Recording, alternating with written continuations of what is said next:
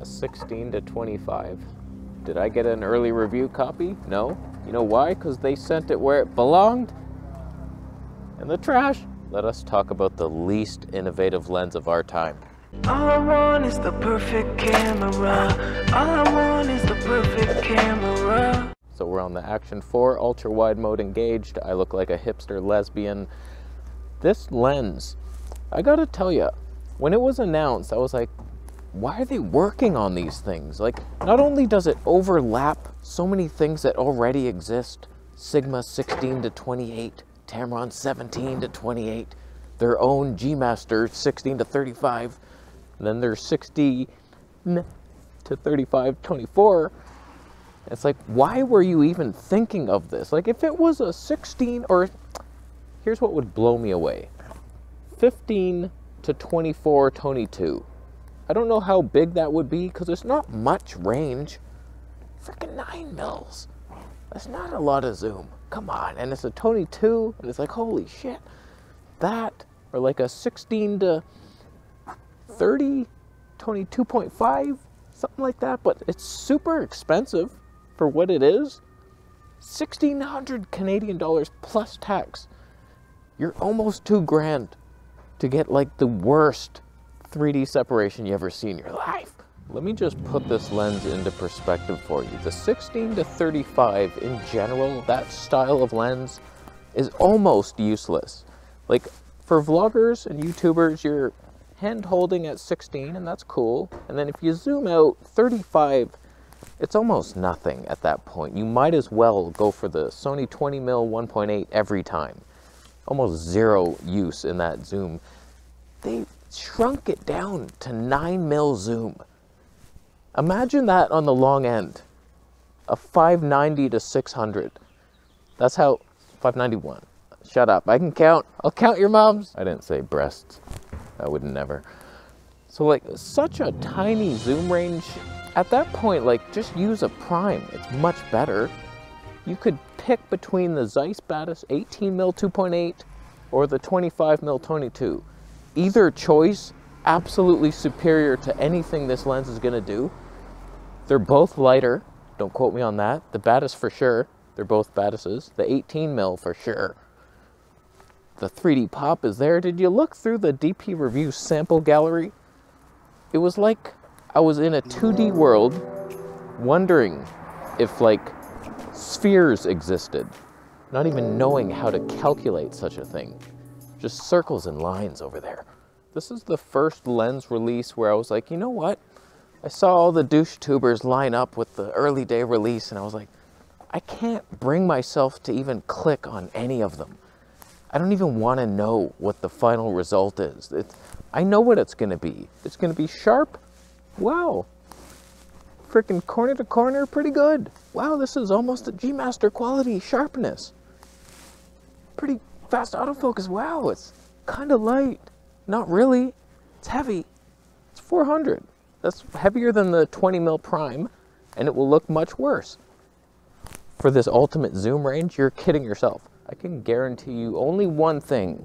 Out of all the 25 reviews released this morning, yesterday morning, not one mentioned micro contrast, 3D pop, lens fidelity, how many elements, 16 frickin' elements. Several of them are designed just to take you out of the third dimension. How many of them took pictures of a test chart and then zoomed in on it 400% to see the sharpness at each chart? It's painful. Just take pictures out in the world. I bet you some did it, but it's the worst lens of our time. Is Sony seriously trying to say that this will pair nicely with their other 24 to 50 useless lens? You're gonna have like 15 lenses in your bag just to get up to 100 mil. Like, what are you doing? There's a trinity for photographers. I don't know, and Sony's turning that into a quadrupily. Can you imagine needing like seven lenses to get you from 16 to 200? That's the future of Sony for some reason.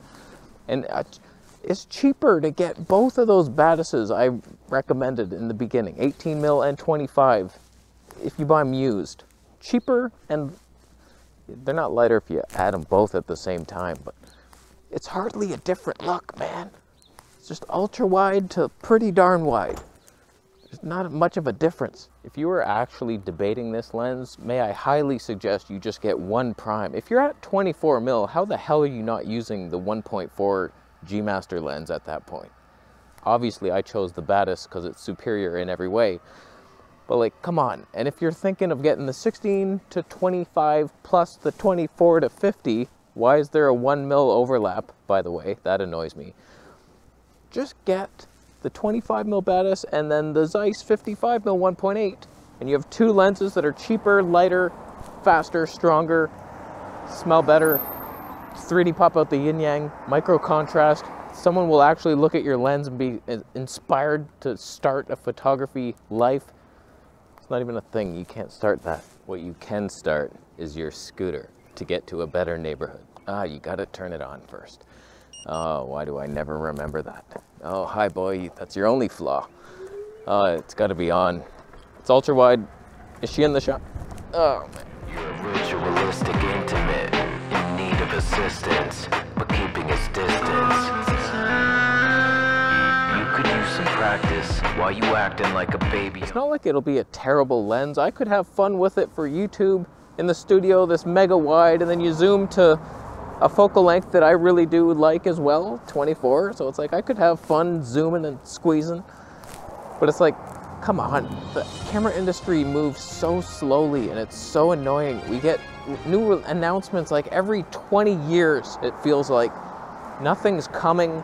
And then what comes is like, you spent all that time doing that. It's like you're waiting for a painting. It's like, okay, just paint a dog or something near a sunset. And then they're working and there's just, there's no dog, there's no sun.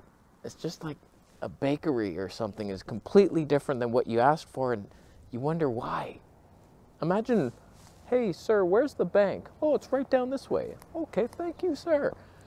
And you're walking for hours and it's like, ah, shit, it was the other way, the exact opposite way that you went. That's what the camera industry is. It's just moving. Blackmagic 17K, are you joking? 17K. Why is nobody just perfecting 4K? Why is nobody perfecting HD? I would still buy a camera if it only did HD, but it was super special. My Blackmagic OG only does HD. It looks like 4K. It looks super sharp, way too sharp. Amazing. Like, if someone actually did that, it would sell it would sell pretty, not, not like hotcakes, but it would sell like a, a Snickers bar or something. My guess is that this is just another one of Sony's miserable attempts at catering to creators, whatever those are supposed to be, and like, oh, mega wide, but it's, it's light, and but it's not light or cheap. You're not, they can't even afford it. And if they could, they should get something much better, like a Prime. So thank you so much, Sony. I can't there must have been thousands of people asking for something like a 16 to 24. If only they could make it slightly lighter than the G Master and maybe half the cost of an overpriced lens. Wow. I ain't into your thing. I don't even update your cameras when you announce firmwares because they make them worse. So many problems I've heard. The Bluetooth doesn't work. Oh my God, my HDMI, that freaking 7 Artisans autofocusing adapter to EF lenses, I've heard a guy say like, oh shit, it doesn't work anymore. Do you know if they're, no, they're not coming with any fix. You're stuck with it. So just never update anything, Sony. Sell it all while you can, and you might make half your money back. Affiliate links will, of course, be available to those who don't think their life decisions through properly. They don't read books. They don't understand the consequences of making really bad choices over and over again, but they're down there for you and enjoy clicking them. I would. So, what do you think? Just like, what is the point of that lens? Who's gonna buy it? There's probably people out there, game changer, bro. I pre-ordered two of them, just in case one snaps. I'll snap the lens hood onto your mom. I'll leave. How you doing? Subscribing for more videos? Yeah.